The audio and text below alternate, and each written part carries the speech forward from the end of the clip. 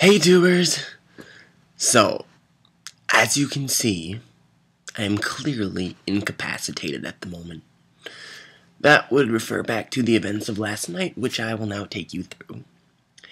So, I come back to my dorm and suddenly get a sharp shooting pain in my side.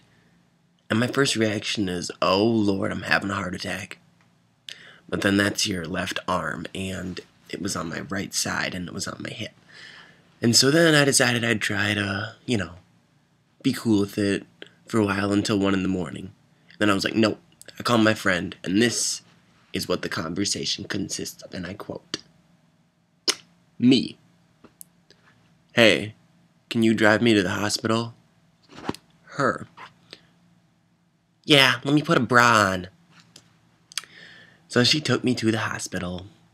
Such a nice friend. But on the way, of course, we got pulled over by the Popo. Every time. I don't, I don't know what it is with, with me and Popo, but every time. And the only thing he wanted to tell us was that she had a burnt out taillight. Meanwhile, I'm dying in the front seat. And he's just like, oh, oh well, you know, we'll go to the hospital. And I'm like, oh, okay, thank you. Anywho, so we get to the hospital, and there's a check-in guy, and the first, and he says, "Can I help you?" And I go, "I am in excruciating pain. I am dying." Yeah. So he sends me to another guy, who sends me to another guy, who sends me to another guy, who wants to take all my information. Meanwhile, I'm like collapsing on the floor as I'm trying to remember my social security number. In uh, whatever.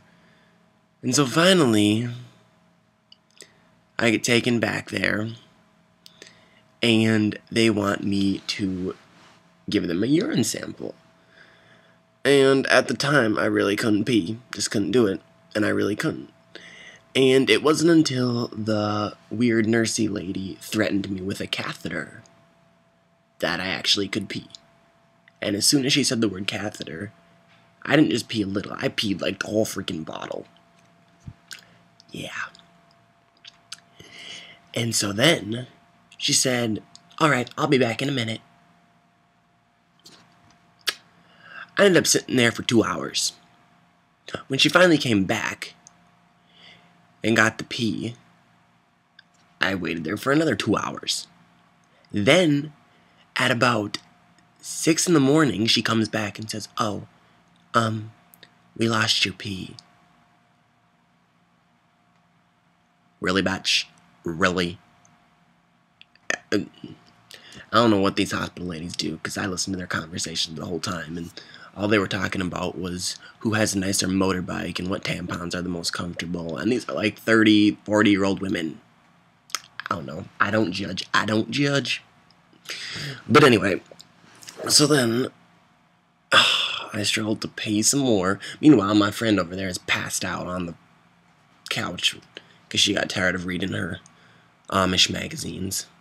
Um, and yeah, then we had to force me to drink a ton of water just so I could pee again. And then finally, at like seven, I got to go back to school. Aren't you proud? Got to go back to school, got to go back to class. I got no sleep. Now I can't move. And I'm stuck in my bed. It's not very fun. But that's how my night went. I hope yours was better. So if you think you had a bad night, just ask yourself were you in excruciating pain? Did some cheesy nursey ladies lose your pee? And did you have get no sleep? And did you have to sit in the hospital bed for six and a half hours with nothing but a moist towelette over your face.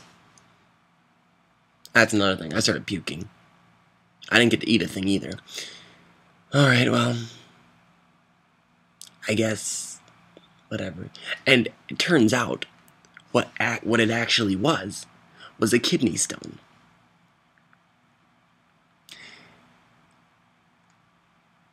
Thirty year old men are supposed to get kidney stones. I am 19. I don't know what's up with that.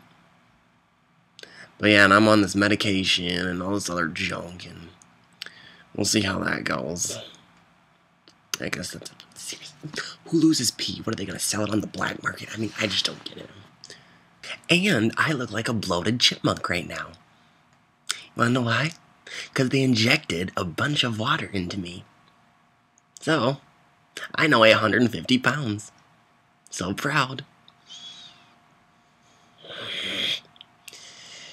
Oh, some people's children, some people's children. Don't know. Well, that's all I really have to say about that. That dang lady got me all. They at first thought it was appendicitis, and I'm like, they're they're freaking out at first. And then the lady's like, oh no, well, you know, sometimes we joke about that. Damn lady joking about that. I don't know who she thinks.